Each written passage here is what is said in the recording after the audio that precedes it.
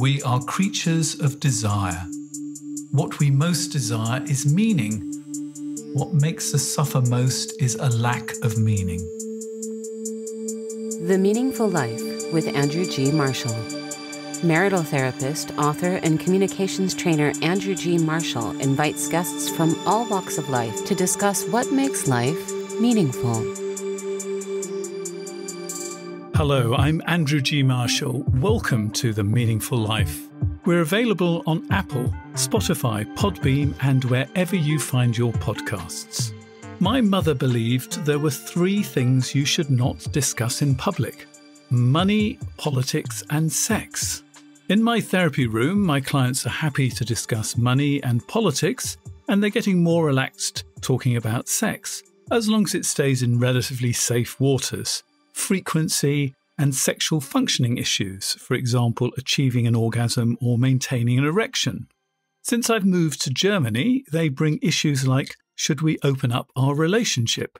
But when it comes to talking about what turns them on, even with their partners, the shutters come down.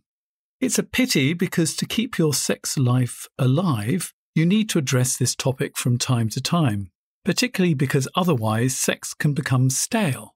But more importantly, because our tastes change as we move through life, we don't just go to the same restaurants, holiday destinations, or listen to the same music. So why do we do the same old, same old in the bedroom, or anywhere else we might choose to have sex? My witness is Jungian analyst Dr. Douglas Thomas, and we're going to take a deep dive into the world of transgressive sex. I can imagine my mother spinning in her grave. He's the author of The Deep Psychology of BDSM and Kink Jungian and Archetypal Perspectives on the Soul's Transgressive Necessities and How Transgressive They Are. I quote from the book The drama of BDSM emerges through scenes and what stories they tell. Tales of shadowy subterranean spaces, dungeons, cages, shackles, chains, ropes, whips, floggers, instruments of abuse and torture, naked bodies, faceless hooded figures, forbidding, fierce beings of power and control, and otherworldly silhouettes of base submission. They are tales of intense contradictory emotions and sensations, fear and desire, restriction and liberation, torment and delight, humiliation and exhilaration, devotion and dread. We're in some pretty powerful territory here. So, Douglas, what made you decide to write the book? Hi, Andrew. There are a couple factors that went into deciding to write this book. One of the first ones, of course, which people are always curious about when they talk to me about this book, is that yes, I have had my own personal experiences with BDSM and kink, which were very powerful, very meaningful, and transformative for me. So I became more curious about what has been written psychologically about. And when I looked into that, I found there was really very little coming from the Jungian world, which struck me as a shame because Jung was so interested in archetypes and archetypal experience. And it struck me just on the face value of it that BDSM is deeply engaged with archetypes and archetypal figures. But so many of the scenes that are enacted look very similar to situations that we see in some of the more extreme myths and legends from around the world. We can get into talking more about that overlap later on.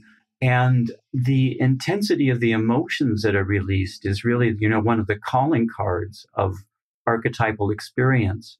I checked with a colleague of mine who is fairly well known in the Jungian world, and he agreed there really has been very little that has been written from a Jungian perspective about BDSM and kink. And he referred to what he called the yuck factor. That he, he thought Jungian analysts were squeamish and, you know, would prefer to stay away from this territory. It's a kind of peculiar thing because if you look at world mythology and legends, these other examples of archetypal reality, uh, you look at alchemy, which was uh, a point of such great fascination for Jung, it's extremely violent and there's a lot of imagery that is difficult to stomach.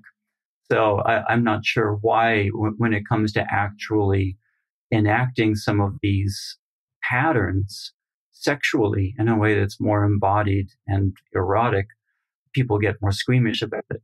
But to answer your question, I realized that there was just a lack of information where I thought, you know, Jung had something to say about this. And did James Hillman, who was, you know, one of the leading psychologists in the generation after Jung. He trained with Jung in Zurich, was the uh, first director of the Jung Institute in Zurich after Jung. And he developed archetypal psychology, which also provides a really fascinating perspective that can shed some light on why BDSM is so meaningful and so powerful psychologically. So I think for all these reasons, I saw there was a need for this book to generate some curiosity on the part of Jungian based analysts so that they can be more welcoming and hopefully more competent in working with people that are exploring BDSM and kink. And for people who are practitioners of BDSM, that they would be able to develop a psychological language that would help them to understand on a deeper level why these experiences are so powerful and transformative. So let's start with some definitions. First of all, what are we meaning by BDSM? And what's the difference between BDSM and kink and fetish, which is another word that's often gets thrown into this mix as well? Can you help us? Yes, I certainly can. So mm, BDSM is an abbreviation which developed around the 1980s, according to the Oxford English Dictionary. And it stands for bondage and discipline, domination and submission, and sadism and masochism. Some people will say that the SM stands for slave and master also. But I think more typically we say it's sadomasochism. Back in the, the 70s, SM was much more common as the reference or the moniker. But BDSM started to incorporate these other elements which describe a range of practices and activities that combine erotic play with some expression of an extreme imbalance in authority and power. Now, there are some people who will say, we used to call it power exchange or total power exchange in the most extreme cases. And then some people said, look, that's not quite right because we never actually give up our power. If you think about power as life force, we, we always are in possession of our life force.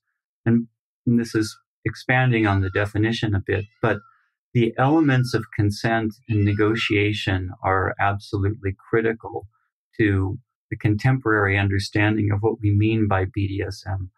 This is what distinguishes it from forms of abuse and physical harm and assault and rape and these other social transgressions, which are really not part of what BDSM is about. BDSM involves scenes that are consensual and negotiated. So let's see. Then kink is a broader umbrella term that refers to a range of erotic, I would say erotic activities and interests that can involve different forms of fantasy play and imagination connected with sexual play. Now, there is some overlap with fetish, so it does get confusing.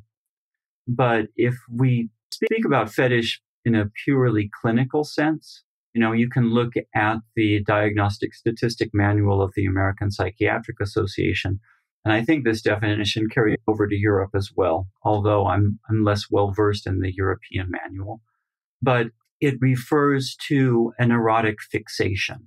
So that in its most, what I want to say, common form, that it would refer to eroticizing specific body parts. And this starts to reveal some of the normative underpinnings of diagnosis in general. That if you look in the manual, it will say it eroticizes specific body parts other than breasts or genitalia.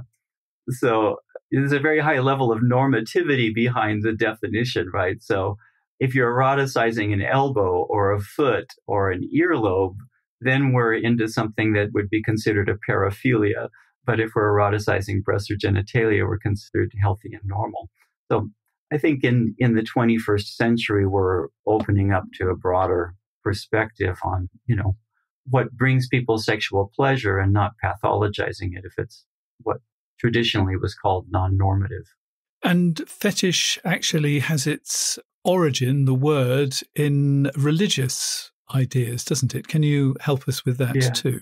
I'm so glad that you're including that. I was looking forward to getting into that with you. Historically, you know, if you go to a museum of natural history anywhere in the world, you will probably find a case somewhere that has small objects that used to be objects of religious worship, and they're called fetishes. So they could refer to lesser deities or sacred objects that would be used in ritual and ceremony.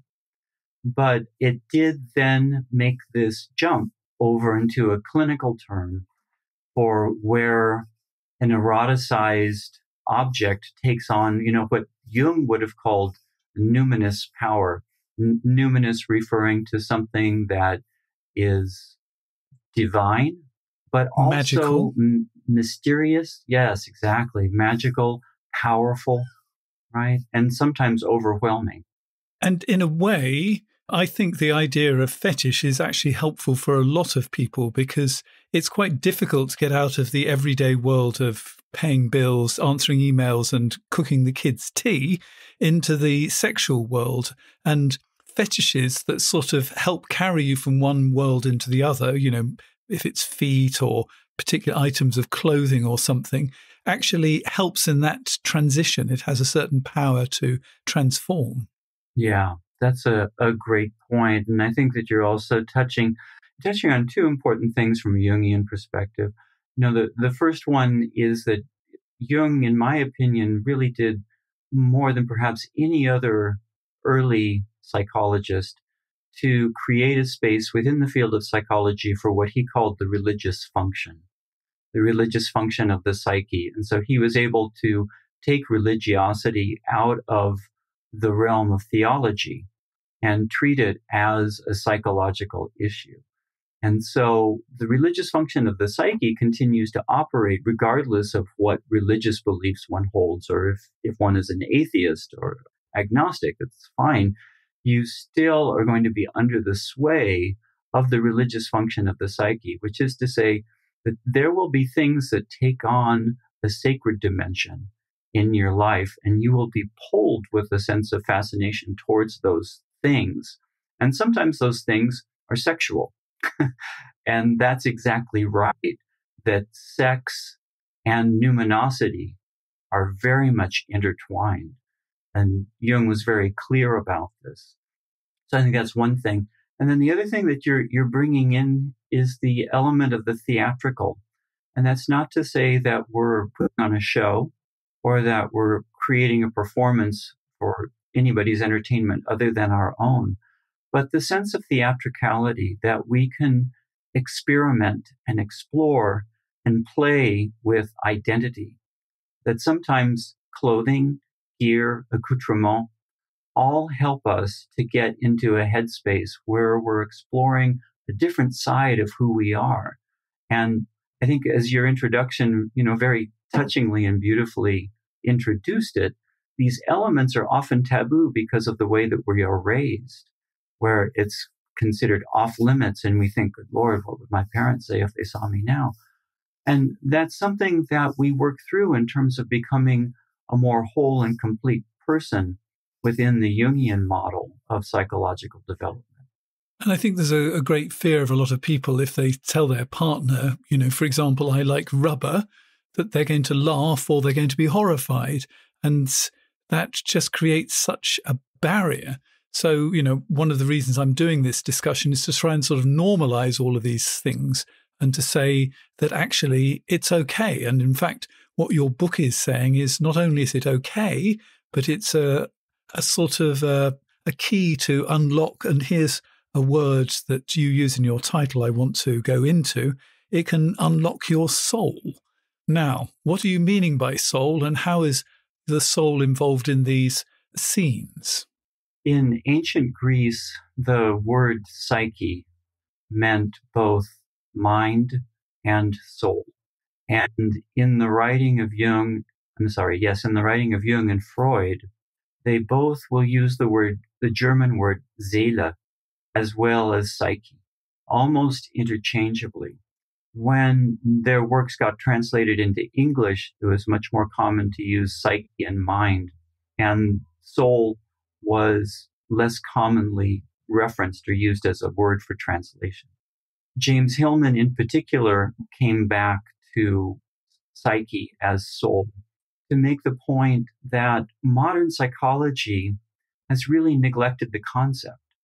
We've tended to biologize the mind, and the mind and the brain are not the same thing.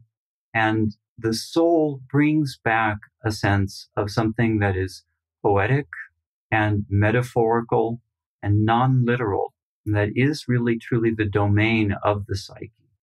It also brings back a sense of the mythic and the classical imagination. Soul has a lot to do with imagination. Hillman was very interested in the idea that what we suffer from so often in modern life is a failure of imagination and a loss of soul.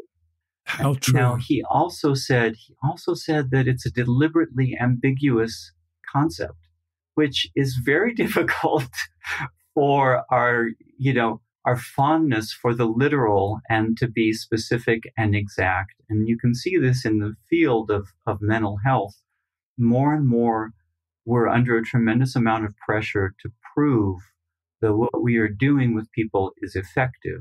And the best way that we know to try and prove that we're having a positive causal effect on people and their mental health is to measure to come up with metrics, matrices that are observable, measurable, quantifiable, repeatable. And this is the heart of evidence based practice. But this is actually very inimical to the life of the soul, which deals with ambiguity and ambivalence and vagueness. And that that is also a really important part of psychological life because with Jung and Hillman and Freud and this whole field that is part of what today we call depth psychology, the notion of the unconscious is regarded as the factor that is the most decisive in influencing our behavior, our thoughts, our personalities in conscious life. It's, it's not so much that the ego is in charge. The ego pretends to be in charge because that's what it needs to do. And in order for us to get through the world. But they all believe that it's the unconscious that is the decisive factor. And so the word unconscious is almost interchangeable with the word soul and imagination and psyche in this particular tradition. So, what you're saying is our sexual fantasies are nothing to be ashamed of, that actually, if we follow them, we might get to know ourselves better, to get in contact with our soul, to sort of mine our unconscious. That's but exactly it. How many BDSM practitioners have a an interest in spirituality rather than getting their rocks off? A great question. And, you know, we don't have numbers uh, because a lot of people that are into BDSM and kink are uh, reluctant to come forward and self identify or to participate in a survey. And that, that's becoming a bit less of a problem than it used to be, but only, I would say, fairly recently within the last decade. We've got a movement that we do know about that has a number of people engaging in it, which is known as pagan BDSM. And there's a really excellent book by a fellow in the United States named Raven Kaldera called Dark Moon Rising in which he he goes into detail about the practices of pagan BDSM, which is overlapping spirituality with the practices of what he calls the ordeal path. And actually, I think what we refer to as the ordeal path goes way back into different cultures and religions from all over the world, where transformation comes both through erotic practices and also physically arduous practices. You can see this in the ascetic movement within Christianity. Within Hinduism, there's the Kavandi ceremony where they put in hooks and piercings on the body and hang weights and pieces of food off of it in their in their religious festivals and their parades. There was a flogging, which was very big, you know, not only with the Christians, but we have all the way back in ancient Greece in the ruins of Pompeii. There's a building that's called the Villa of Mysteries, and they have frescoes inside the villa which depict some kind of an initiatory ritual in which the initiate is being scourged with what was called the thyrsus of Dionysus. It was a, a staff with uh, pine cones on the end, but it was a form of flogging, scourging, that was part of ritual initiation. So, what Raven was mapping out with contemporary BDSM is suggesting that this is a contemporary reiteration of something that people have been doing for centuries all over the world. And that it has this aspect to it that is really transformative through spirituality. So there are people that recognize it and that are practicing it. I also quote in the book passages from other writers like Joseph Bean, who I don't think that Joseph would ever consider himself to be a BDSM paganist. But his descriptions of some of his early experiences being flogged are clearly facilitating something very transcendent where he has an out of body experience. And he says, I floated away, peeled away from the body like a postage stamp off an envelope. A wonderful metaphor to describe. And he's not the only one. We've got quite a few people that have written about their experiences now where they go into these altered states. This is why I have a chapter in the book devoted to ecstasy. They go into these altered states when they're heavily into a BDSM scene with their partner. And so I think some of these things happen in a kind of, you want to say accidental or organic, organic way that is part of what people are really after, whether or not they have the words for it whether or not they're thinking of it like as, oh my gosh, this was a spiritual experience. And what you say is that there are two things that depth psychology and BDSM have in common, and that is images and play. So that actually, really, these subjects of BDSM and therapy sort of belong together. So tell me more about that. First of all, with the idea of images, we come back to James Hillman in particular, first Jung and then Hillman. This is a point that they both shared. There's a point of deep convergence between them that the psyche is fundamentally composed of images. That's how it speaks to us, isn't it? Yeah, exactly. That's the language. If you think about what dreams are, and Jung would say it's a, a meaningful sequence of images, it's not random. And Hillman would say images, he called them fantasy images to be clear. But he'd say fantasy images are, I'm paraphrasing here, but it was sort of like the most privileged way of gaining knowledge about soul was through images. Because there's nothing that's more essential, that they are the ultimate given of psychological life. So when we are in the realm of psychology and psychotherapy, in the depth tradition, we're very interested in images and we're interested in holding on to what is being shared in the consulting room in a way that is non literal and holding what we call a metaphorical frame of mind. Because language itself has images embedded into it. When you get into the words that we are using, there's a history to all of those words and deep down within the history of each word, there's an image. The etymology, the root of the word comes most often from describing some kind of image, right? So if we consider psychotherapy to be the talking cure, the talking cure is rooted deep within the soul in images, right? When we come to BDSM, very often what is being experienced there has this numinous magical quality because it's nonverbal. There's plenty of play that is involving talk for sure and very you know very provocative very dirty talk sometimes that that's part of what's arousing and exciting. But very often if you talk to people about the headspace that they go into they're going into a headspace that is much more what I would refer to as symbolic, meaning it, it's not entirely verbal. We're going into a realm where we can't fully describe what it is that we're experiencing. But what is occurring there is coming up very often through images. And what we talked about earlier with fetish, all of the gear is so rich in imagination and the idea of creating an ambiance that very often, I don't know how many people take this for granted in 2024, but the space that is used to practice BDSM is called the dungeon. And I think we kind of take that for granted.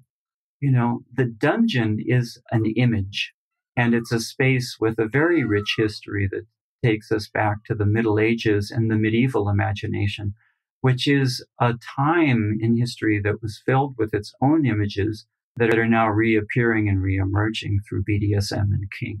And so this is looking at the archetypal dimension of what is coming forward in modern life in a reiteration of something that has been around for a long, long time. So I've spoken a bit here about image. The other word that you brought in in that passage is play. And play involves, it's very important psychologically. D.W. Winnicott, famous British object relations psychologist, said that psychotherapy cannot begin until the patient knows how to play. And if the patient doesn't know how to, now, why would he say that? If the patient doesn't know how to play, then that's the first order of business is, is to figure out how to do that. And what he meant by that is that we are negotiating in, in our psychological lives this space that is moving back and forth, toggling back and forth between an inner subjective fantasy world and an external reality. And play is the mediating function that occurs in what he called transitional space. There is a, a similar idea with Jung and Hillman in that there are these fantasy images that make up the life of the psyche. And then we have these physical bodies and these physical lives in which we bring forward these fantasy images in an embodied fashion. So I hope that that can be clear that BDSM is playing in that same transitional space.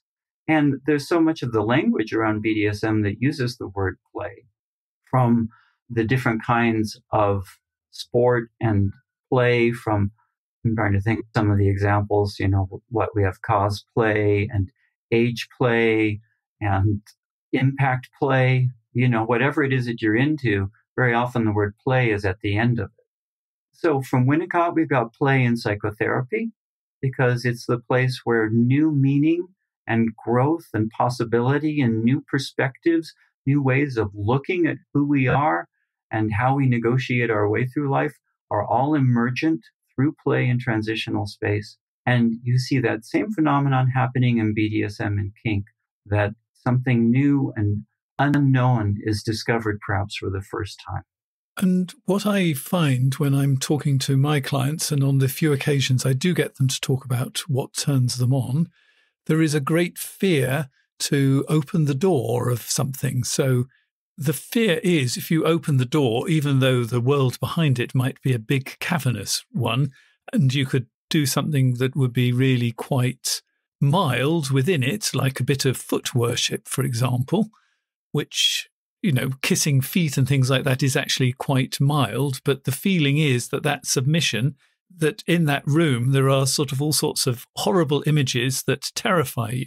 So you have to slam the door closed before you've even sort of peeked through it and really actually thought, could this actually be something that would be creative, fulfilling for me? and also might be a necessity of the soul, to quote your book. How do you suggest that people get over that fear? When it comes to BDSM and kink in particular, part of what makes it unique is that you have a tremendous degree of control that is being paired at the same time with a tremendous degree of surrender and loss of control. So it's a very paradoxical space that we're talking about. But ultimately, if you are engaging in the practice in the submissive role, you always have access to a safe word. And before you use your safe, I mean, this is kind of iconic. It's almost, you know, become a cliche that people will use in, in a humorous or ironic way. But it's very important that before you get to the point of using your safe word, which is really the point of closing that door that you're talking about. I'm getting overwhelmed. This is too much for me. I'm freaked out. I'm scared. Can't do this. I want to go back. I want to close the door. You use your safe word. But before you get to the safe word, there are other coded signals that can be used. Sometimes people like to use the colors. Green means everything's good. Yellow means I'm um, not mm. sure I'm getting close to or it's too much. And red is holy smokes, stop. And the person in the dominant role will very often check in and people can explore this, you know, without having to identify as, well, I'm a BDSM practitioner now or I'm into kink, but I want to try this. I just want to, I want to see if we can bring in something new. And I've been thinking about this, been popping it up in my imagination as something that strikes me as kind of sexy and I want to give it a try. But I'm also afraid if it's a person that who's going to be in a dominant position with you in a submissive position or vice versa. But the one in the dominant position can check in regularly and say, how are you doing? What color are you at? And, you know, sometimes this can be talked about ahead of time before you even get into playing, right? Just to say, what do you think this would look like? What do you think would make this a good experience for you? What is it that exactly that you're afraid of? What would help us mm. build some guardrails around what we're about to do so that it'll feel safer to you? What are some things that might help you get in the mood? What are some of the fantasies that you have? If we just turned this into a story and played it out as a scenario that we talk about without actually doing it, what would it look like? Those are all ways to prepare it because you see, it begins in the imagination and we're priming the imagination letting ourselves know it's okay. We're going to enter into a space of exploration and discovery. And it's true. If we're really talking about discovery, we are approaching the unknown, and the unknown can be scary. Anybody that has enjoyed the thrill of a, a horror movie or a slasher film knows it's the, the unknown that terrifies us and that gives us the, the frisson, right? But you know we like to be on the edge we don't like to be overwhelmed and now there's some people that really want the overwhelm and that that is something that can be negotiated and you can lean into but i think your question is about people that are starting out and what I'm really liking about this is the amount of talking that's actually involved.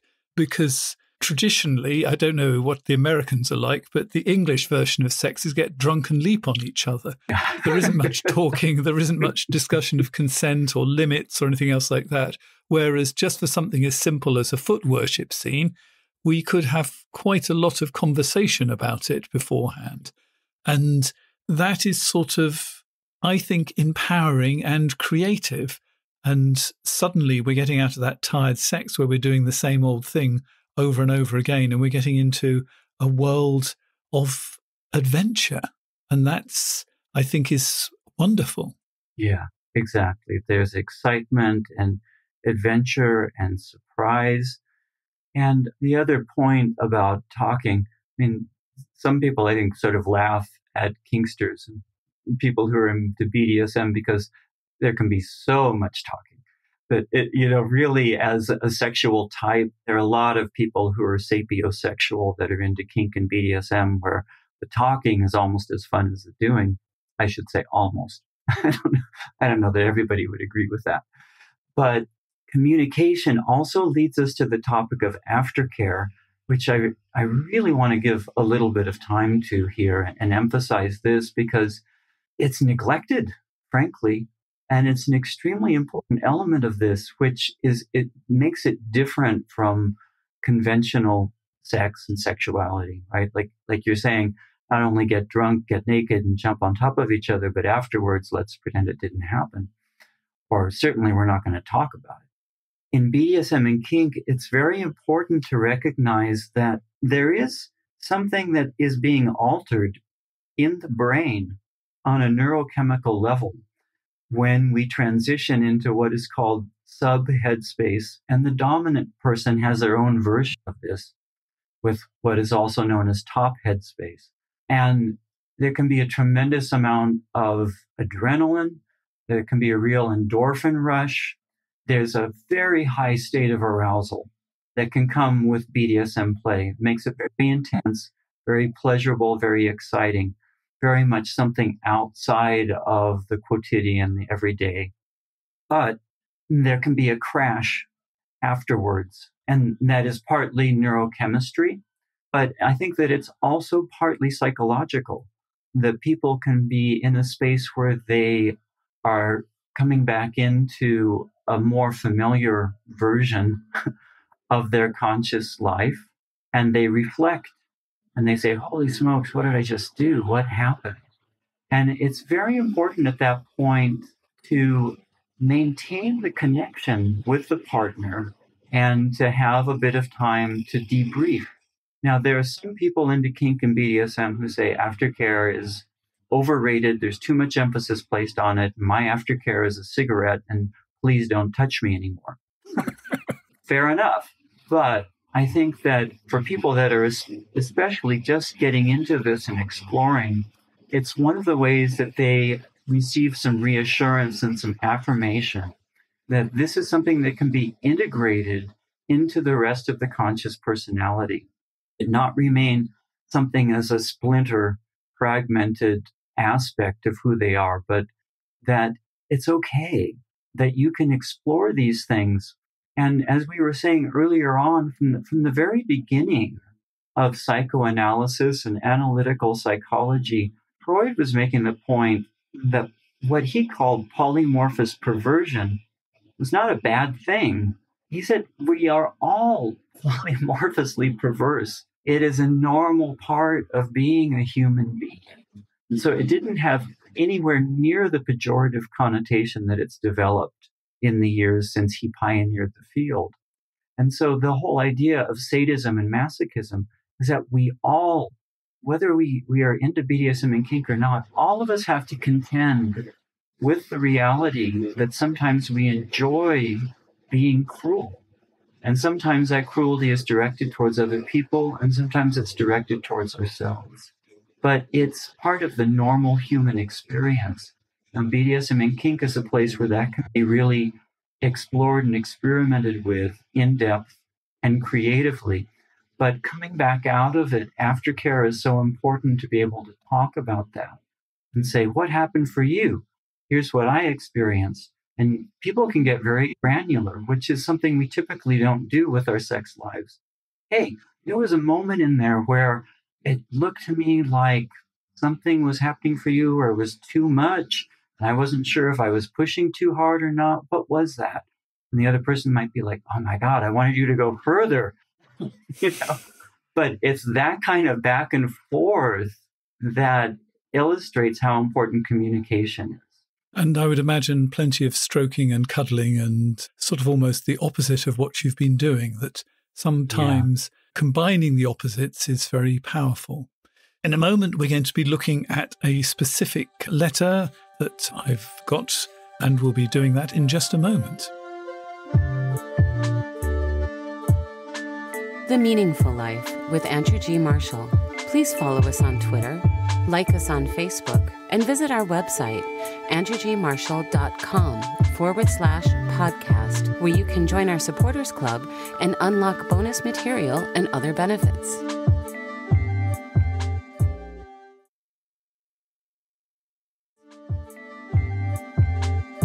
If you'd like to submit a letter, and this one actually um, comes from somebody I know, you can uh, send a message to me via my website. If you go to www.andrewgmarshall.com forward slash podcasts, you'll find a section there that gets you a chance to participate in the program.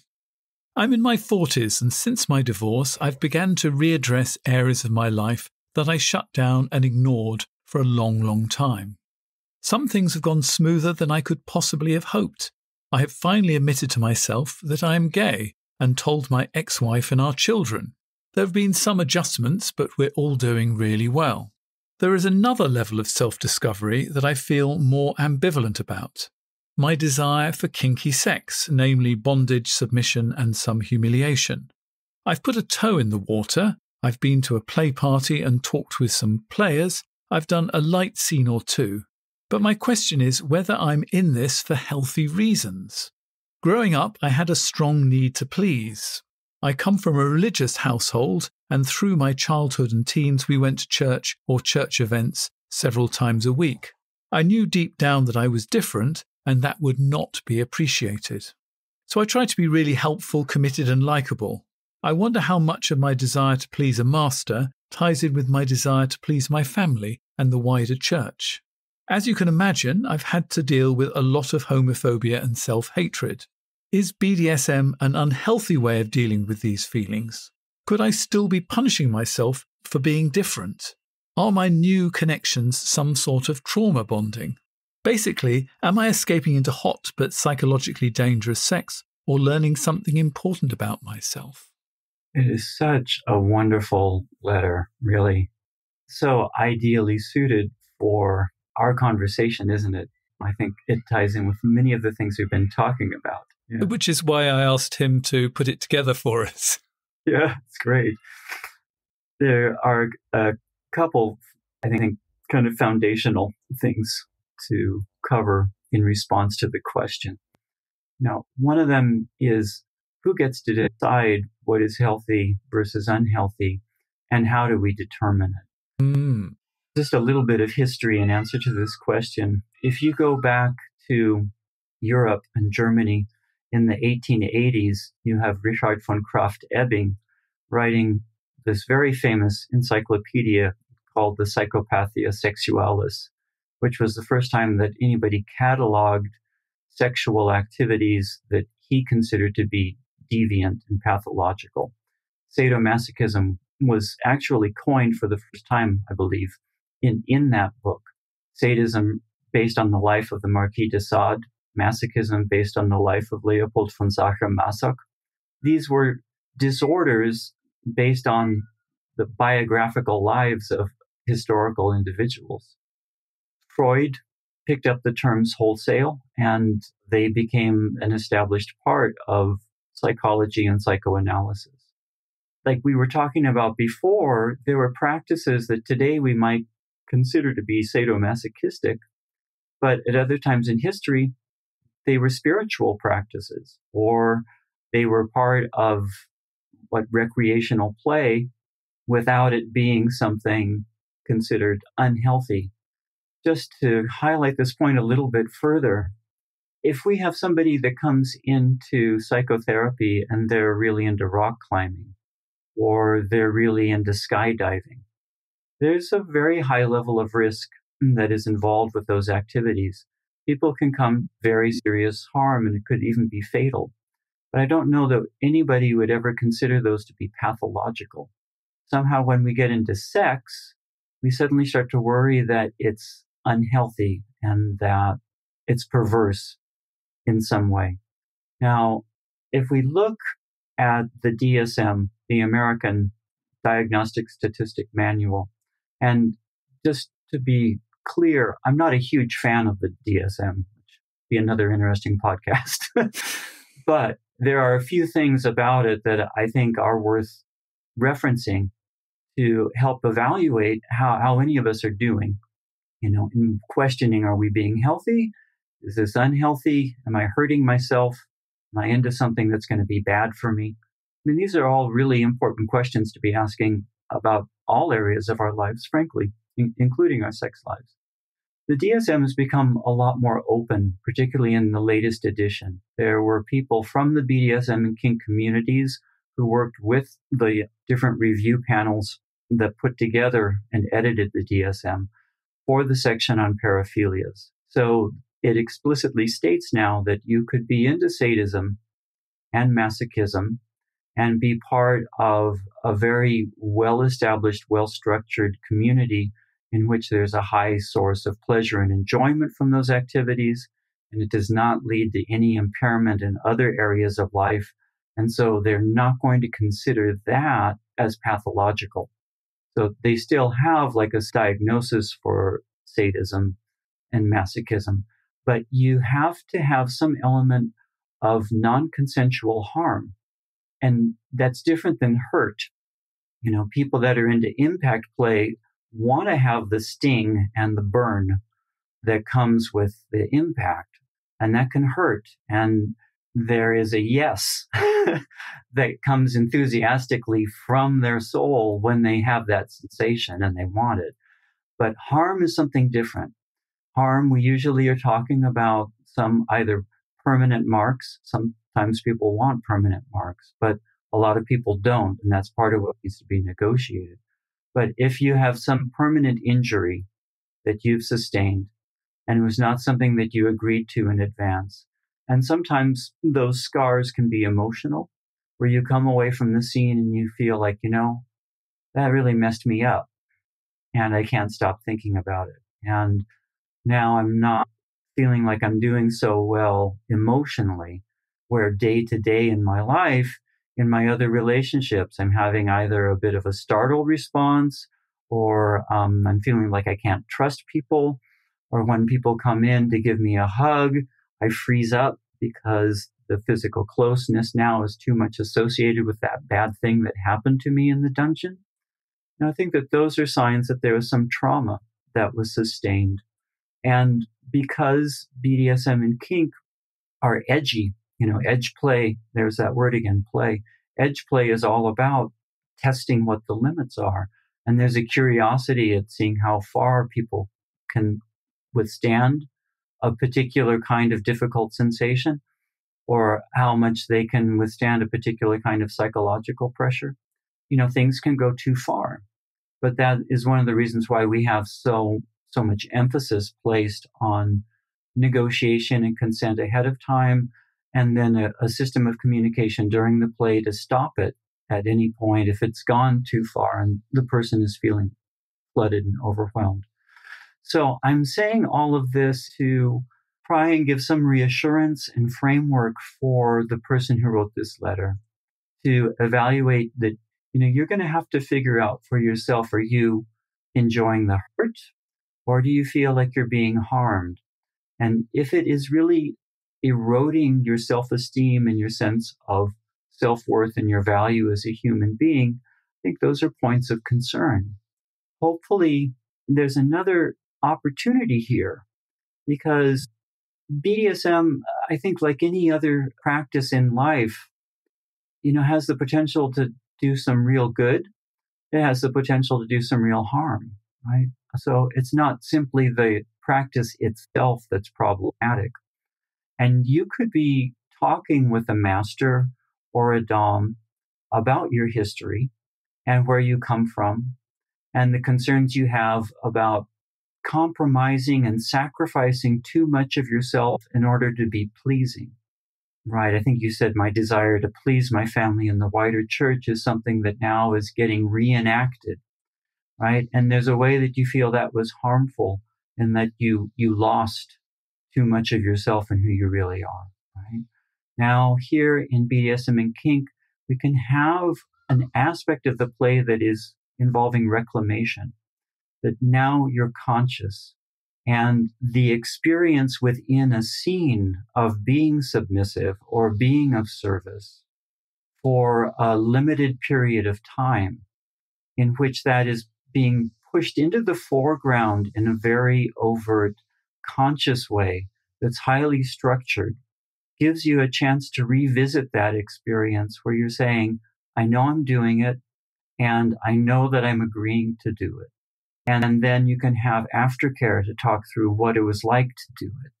It's very different than in the day to day experience of being within an environment where you think the people that love me are going to hate me and shun me if they know who I really am.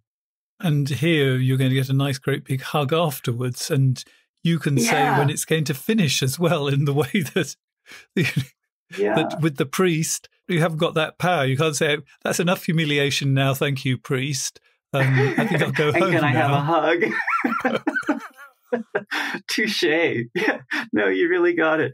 Right. You know, part of the aftercare is the master Adam saying, You were such a good boy. I'm so proud of you. You really served me well. I was very pleased with your service. I mean, you hear it's just that it's a very different potential there for, in psychotherapy, we call it a corrective emotional experience, right? So, I think I have to recommend this book thoroughly to all therapists because it's going to give you two things. One, a great deal of knowledge about BDSM, but I think really whatever field that you practice in, actually seeing in depth how somebody else works and the frameworks they use can really be restorative to you and make you see your own practice in a different way. So I recommend it on that front. But if you've got a couple of sentences to give to depth psychologists, what would it be if they have a client in this area?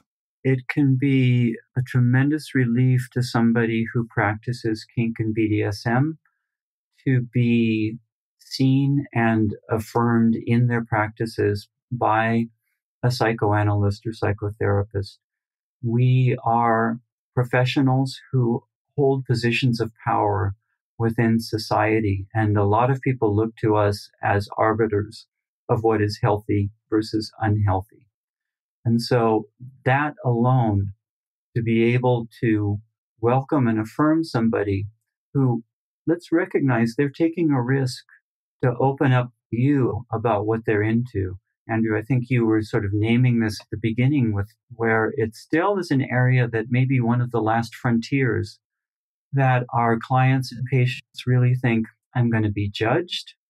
My psychotherapist is going to focus on my kink as my problem that has to be overcome. And that is not why I'm coming to psychotherapy. It's not something that needs to be fixed. This is a part of my life that's working.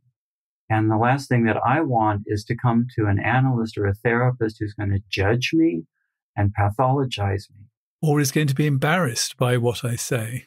Well, yeah. If they're going to experience discomfort, then how are they going to help me? Right? Just keep in mind that people that are into these types of relationships and activities are coming with a sense of risk about opening up about it. And so that is, I think, tremendously helpful if the therapist can be grounded and understanding and then, you know, gain a bit of information about the practice. And the last thing I would suggest is to recognize, as I've put in the title of the book, that there is some kind of inner necessity that is being expressed here and to become curious about what is it that is so important and so insistent that it emerge in this way that becomes the psychological question that can be incredibly valuable to explore. And if somebody's a kinkster listening to this episode, could actually understanding the psychological and the spiritual underpinnings of what they're doing actually help or deepen their sexual practice? That is definitely my contention. that when you are able to understand that it is not simply the doing, the, the activities, the sensations, but that there's meaning that's being created around what you're doing and to get more curious about what it means and what is being expressed and shared and that it ties in with a deeper sense of who you are as a human being and in some cases, it has to do with your personal history, that there is something that was unseen, unmet. Uh, there was some harm that was done in the past, and here is a chance to revisit that within an established container that's negotiated, that you're agreeing to, where some repair can happen. You know, all of that is extremely meaningful and potentially healing but that comes with introspection and reflection and communication. Well, I'm glad you mentioned the subject of meaning because that's what this podcast is all about. So, as a witness on the meaningful life, I have to ask you what makes your life meaningful, Douglas? You know, I'm reminded of one of the things that James Hillman said about the soul that the soul is what turns events into experiences. And I think that when we recognize that we are living an experience, life becomes more meaningful. And when we have an experience of depth and interiority, those are qualities that make life meaningful. For me personally, a life that is enriched by the arts has been something that I don't think I could live without. And so it is through going to symphony concerts, the symphonies of Gustav Mahler, or the, the novels of Dostoevsky, or the plays of William Shakespeare, really partaking of, of that cultural life is something that's been profoundly meaningful. And then I think there's also the scholarly life, which is a life of contemplation and reading and deep thinking and engagement with the ideas of other people who have lived in other periods and where you really come into some kind of a dialogue or a colloquy with these thinkers of other times and then you start to do your own writing, that is part of what makes life really profoundly meaningful. And uh, congratulations for taking it. This book of, it obviously is an academic book, but it is something that people that walk the ordinary streets can follow as well. And some of the concepts um, you put uh, very clearly, which I much appreciated. So that's where the conversation ends. But if you become a supporter of the meaningful life, the conversation continues. And we're going to look at pain and how our relationship with pain could um, do a little bit of a, a rethink. So, um, if you want to find out about that, I'm going to be talking about my experiences with pain under the tattoo gun and how that's uh, changed my relationship with pain in uh, just a moment. But uh, if you want to hear this bonus material, you can subscribe directly via Apple or Spotify. And if you want to become a supporter of The Meaningful Life and unlock the bonus material this way, here are the details.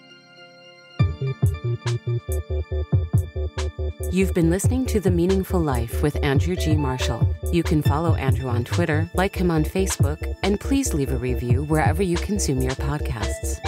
Making, editing, and distributing The Meaningful Life comes with substantial costs, and we'd like to ask for your help. Visit our website, andrewgmarshall.com forward slash podcast, where you can join our supporters club and unlock bonus material for every program, send in a letter to be discussed by Andrew and